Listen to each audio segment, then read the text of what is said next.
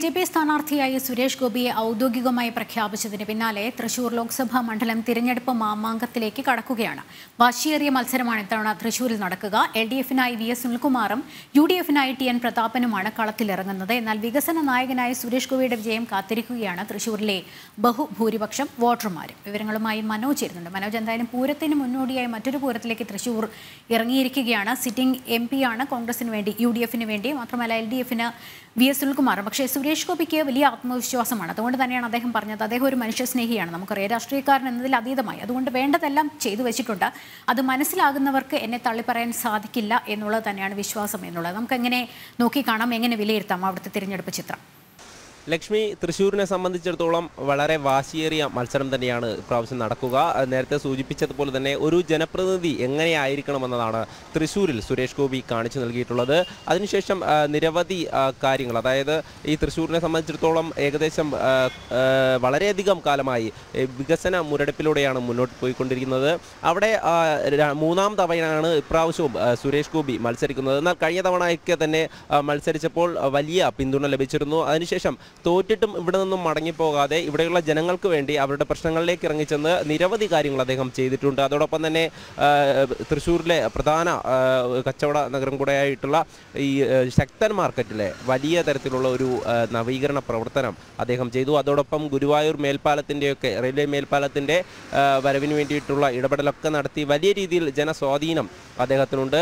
കഴിഞ്ഞ വർഷത്തെ അപേക്ഷിച്ച് നോക്കുമ്പോൾ ഇപ്രാവശ്യം സുരേഷ് ഗോപിക്ക് വലിയ തരത്തിലുള്ള ജനസ്വീകാര്യതയാണ് കിട്ടുന്നത്. കാരണം അദ്ദേഹം ഈ മണ്ഡലത്തിൽ തന്നെ ഉണ്ടായിരുന്നു ജനങ്ങളുടെ ഇടയിൽ തന്നെ ഉണ്ടായിരുന്നു. ഈ ഇലക്ഷൻ ആകുമ്പോൾ മാത്രം അല്ല സുരേഷ് ഗോപി ജനങ്ങളുടെ ഇടയിലേക്ക് ഇറങ്ങുന്നത്. സാധാരണയായി എല്ലാ കാര്യങ്ങൾക്കും എല്ലാ പ്രവർത്തനങ്ങൾക്കും അദ്ദേഹം ഇവിടെ സജീവമായി ഉണ്ടായിരുന്നു.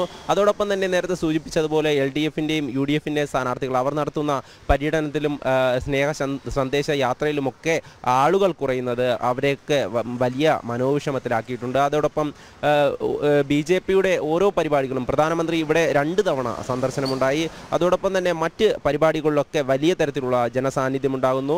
അതോടൊപ്പം സുരേഷ് ഗോപിയുടെ ആ ഒരു പ്രവർത്തനത്തിന്റെ മികവ് കൊണ്ട് തന്നെയാണ് ബി ജെ പിയിലേക്ക് കുറേയധികം ആൾക്കാർ ഇപ്പോൾ പുതുതായി മറ്റു പ്രസ്ഥാനങ്ങളിൽ നിന്നും അംഗത്വം സ്വീകരിച്ചിട്ടുണ്ട്. ഏതായാലും അത്തരത്തിൽ ബി ജെ പി വലിയ ശുഭപ്രതീക്ഷയോടുകൂടിയാണ് ഈ മണ്ഡലത്തെ നോക്കിക്കാണുന്നത്. ഏഴ് നിയമസഭാ മണ്ഡലങ്ങൾ അടങ്ങുന്നതാണ് ഈ തൃശൂർ ലോക്സഭാ മണ്ഡലം.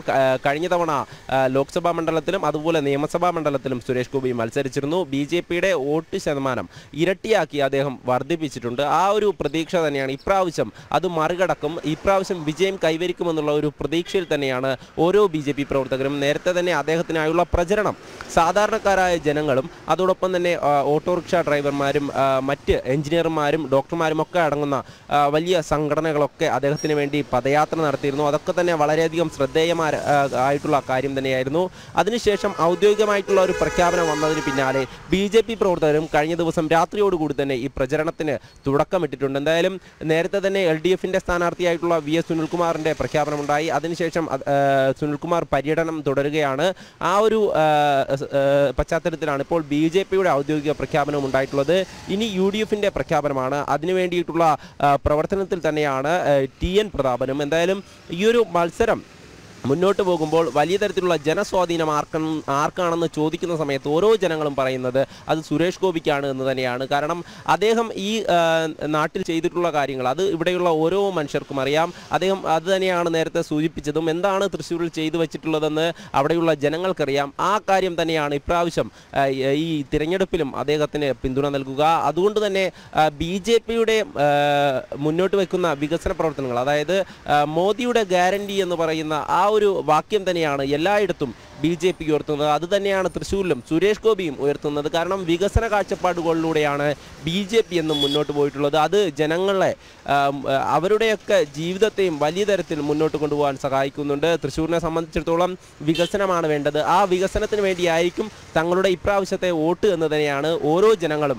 വ്യക്തമാക്കുന്നത്. ആ വികസനം കൊണ്ടുവരാൻ സുരേഷ് ഗോപിയിലൂടെ മാത്രമേ സാധിക്കുകയുള്ളൂ എന്നുള്ള ഒരു ജനവിക ജനവികാരമാണ് പൊതുവെ തൃശ്ശൂരിലുള്ളത്. തൃശ്ശൂരിനെ സംബന്ധിച്ചിടത്തോളം ഇരു മുന്നണികളും മാറി മാറി ഭരിച്ചിട്ടുള്ള നാടാണ് ഈ ലോക്സഭാ മണ്ഡലത്തിൽ തന്നെ.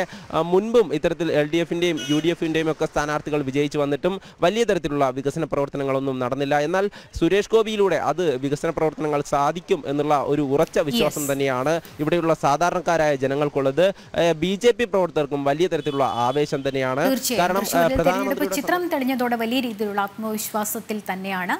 എല്ലാ മുന്നണികളുടെയും അണികൾ ബി ജെ പിക്ക് ആത്മവിശ്വാസം വലിയ വിജയപ്രതീക്ഷയാണ് ഉള്ളത്. വിവരങ്ങളാണ് മനോജ് നൽകിക്കൊണ്ടിരുന്നത്. ഇതോടെ